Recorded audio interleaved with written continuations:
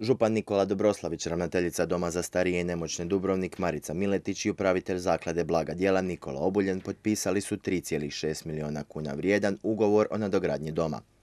Mi time poboljšavamo u našem Domu za starije i nemoćne e, boravak e, našim štićenicima, e, povećava se kvaliteta i evo to je možda jedan lijepi dar pred ovaj Božić za naše starije sugrađane koji, kojima smo dužni osigurati najbolje što možemo za njihove starije dane.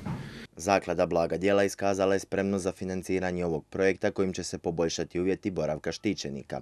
Upravitelj Obuljen kazao je da je projekt započet još 2011. te je nailazio na brojne poteškoće do te mjere da je umalo propao. E, moram reći da sam stvarno sretan da evo danas potpisujemo ovaj ugovor o kojemu se, kao što je rekao gospa Župan, e, dugo dogovaramo. Bilo je tu razno raznih e, prepreka i pravnih, ali u jednom času i zakonskih, e, jer je zakon u jednom času bio limitirao kapacitet domova, pa smo se bojali da će taj e, projekt i propast. Nažalost, na sreću e, to se nije dogodilo.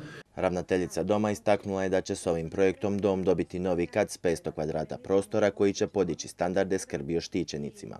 Ja bi se samo zahvalila u ime svih korisnika koji su sad smješteni u domu, u ime svih korisnika budućih koji će biti u domu, u ime njihovih obitelji, zato što naše korisnike redovno posjećuju članovi obitelji i u ime svih naših zaposlenika u domu, što ćemo ovom nadogradnjom dobiti kvalitetne prostore, tako da ćemo život korisnika učiniti ugodnijim i rad zaposlenika lakšim. Dom za starije i nemoćne zaklada Blaga djela smatra svojim. Naime, dom je izgrađen 1971. na zemljištu i sa sredstvima zaklade.